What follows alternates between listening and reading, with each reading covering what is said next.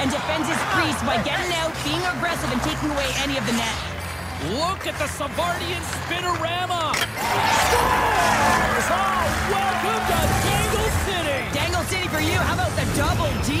Get the goaltender moving one way and then put it home the other.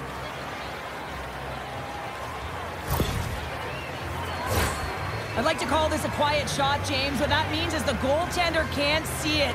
So he's listening for it, and it buzzes right by him because he cannot catch up to it, can't find it with his eyes, and can't find it with his body. Luco's got the advantage with the one-goal lead now. Can they build on this, Cheryl?